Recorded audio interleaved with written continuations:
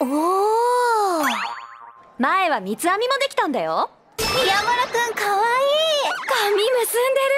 ねえずっとこのままでいなよ。えー、堀さんにしてもらったの？かわいい。いいな顔ちっちゃいなりげに。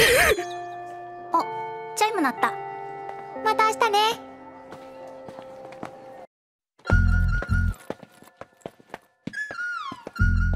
えっと俺のカバン